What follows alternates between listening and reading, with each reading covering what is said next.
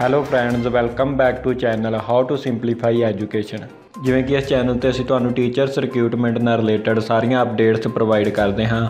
ਤੇ ਇਹਨਾਂ ਸਾਰੀਆਂ ਅਪਡੇਟਸ ਦਾ ਨੋਟੀਫਿਕੇਸ਼ਨ ਪਾਉਣ ਲਈ ਚੈਨਲ ਨੂੰ ਸਬਸਕ੍ਰਾਈਬ ਜ਼ਰੂਰ ਕਰ ਲੈਣਾ ਜੀ। ਜਿਵੇਂ ਜਿਵੇਂ ਅਪਡੇਟਸ ਨਿਕਲ ਕੇ ਆਉਂਦੀਆਂ ਰਹਿਣਗੀਆਂ, ਉਹ ਸਾਰੀਆਂ ਅਪਡੇਟਸ ਅਸੀਂ ਤੁਹਾਨੂੰ ਲਗਾਤਾਰ ਪ੍ਰੋਵਾਈਡ ਕਰਦੇ ਰਵਾਂਗੇ।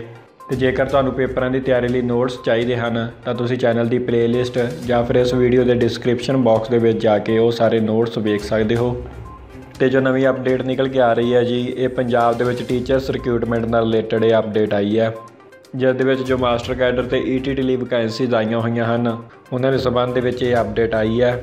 ਇਸ ਅਪਡੇਟ ਨੂੰ ਦੇਖਣ ਲਈ ਚੱਲਦੇ ਹਾਂ ਜੀ ਅਫੀਸ਼ੀਅਲ ਵੈਬਸਾਈਟ ਤੇ।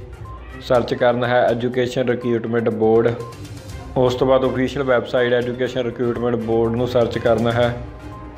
ਤਾਂ ਇਹ ਆਪਾਂ ਅਫੀਸ਼ੀਅਲ ਵੈਬਸਾਈਟ ਤੇ ਪਹੁੰਚ ਚੁੱਕੇ ਹਾਂ ਜੀ। ਉਸ ਤੋਂ ਬਾਅਦ ਲੇਟੈਸਟ ਰਿਕਰੂਟਮੈਂਟ ਤੇ ਕਲਿੱਕ ਕਰਨਾ ਹੈ। ਮਾਸਟਰ ਕੈਡਰ ਲਈ ਜੋ ਅਪਡੇਟ ਆਈ ਹੈ ਉਸ ਨੂੰ ਦੇਖਦੇ ਹਾਂ।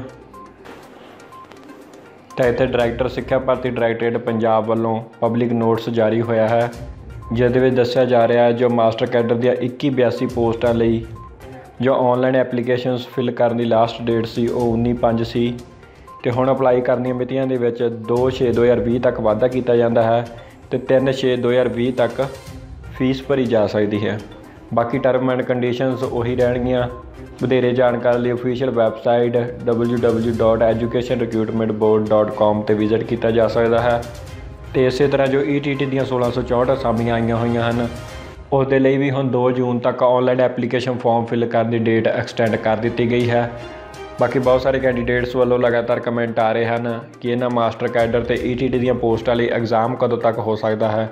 ਤਾਂ ਸਟੂਡੈਂਟਸ ਐਗਜ਼ਾਮ ਦੇ ਸਬੰਧ ਦੇ ਵਿੱਚ ਹਾਲੇ ਤੱਕ ਕੋਈ ਵੀ ਅਪਡੇਟ ਨਹੀਂ ਆਈ ਹੈ। ਆਉਣ ਵਾਲੇ ਸਮੇਂ ਦੇ ਵਿੱਚ ਐਗਜ਼ਾਮ ਨਾਲ ਰਿਲੇਟਡ ਅਪਡੇਟਸ ਦੇਖਣ ਨੂੰ ਮਿਲ ਸਕਦੀਆਂ ਹਨ ਤੇ ਜਿਵੇਂ ਹੀ ਐਗਜ਼ਾਮ ਨਾਲ ਰਿਲੇਟਡ ਅਪਡੇਟਸ ਨਿਕਲ ਕੇ ਆਉਣਗੀਆਂ, ਉਹ ਸਾਰੀਆਂ ਅਪਡੇਟਸ ਅਸੀਂ ਲਗਾਤਾਰ ਤੁਹਾਨੂੰ ਪ੍ਰੋਵਾਈਡ ਕਰਾਂਗੇ। ਤੇ ਇਹਨਾਂ ਸਾਰੀਆਂ ਅਪਡੇਟਸ ਦਾ ਰੈਗੂਲਰ ਨੋਟੀਫਿਕੇਸ਼ਨ ਪਾਉਣ ਲਈ ਚੈਨਲ ਨੂੰ ਸਬਸਕ੍ਰਾਈਬ ਜ਼ਰੂਰ ਕਰ ਲੈਣਾ ਜੀ।